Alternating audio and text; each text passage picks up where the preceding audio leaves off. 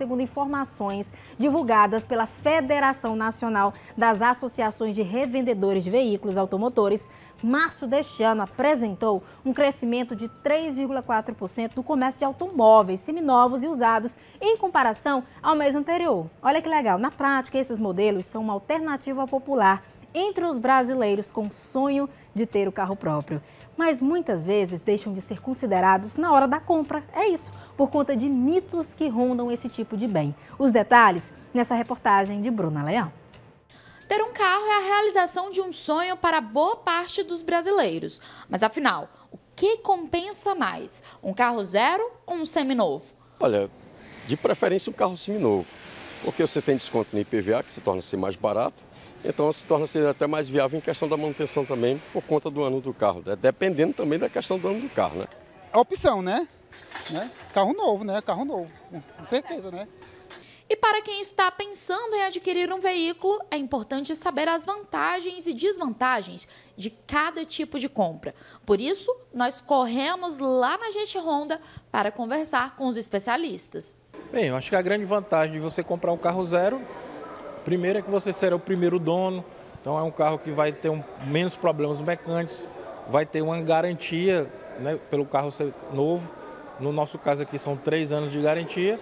E também quando se você for optar pelo financiamento, as taxas de, de juros do carro novo elas são bem mais em contas do que um carro usado. Né? As desvantagens são muito poucas. Né? Eu acredito que a maior desvantagem que você possa ter é se você quiser fazer, se desfazer desse carro num curto espaço de tempo, você vai ter uma desvalorização um pouco maior do que de um carro usado. É, carro usado, há algumas vantagens que a gente pode citar. Primeiro é que o que ele tinha para desvalorizar, ele já desvalorizou. Então você vai comprar um carro por um preço um pouco mais acessível.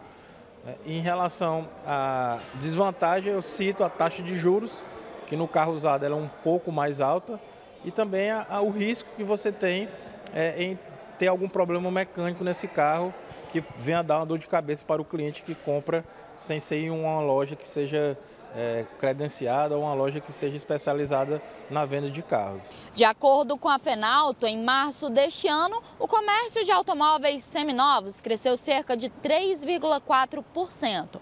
Mas é claro, para ter certeza de que se está fazendo um bom negócio, é necessário se prevenir e procurar apenas empresas sérias e credenciadas. É importante que você que está nos assistindo, que você procure lojas que ofereçam é, nota fiscal, exija nota fiscal da compra do carro, exija que o carro seja revisado, que esse carro tenha laudo cautelar.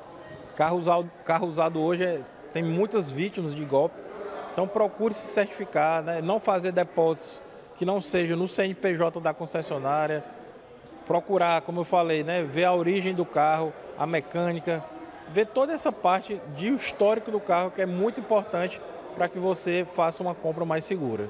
E você de casa, prefere carro novo ou usado? Tá aí, gente, dicas valiosas aí nessa reportagem da Bruna Leão. Exatamente, cuidado, vai comprar um veículo seminovo de terceiro, checa direitinho. Você viu que tem muitos benefícios realmente para o cliente, só que tem que se precaver, né? Tomar alguns cuidados, algumas medidas para garantir que você vai ter aí uma compra em que você não, ter, não seja lesado. Então, cuidado e atenção, principalmente com a receptação, viu?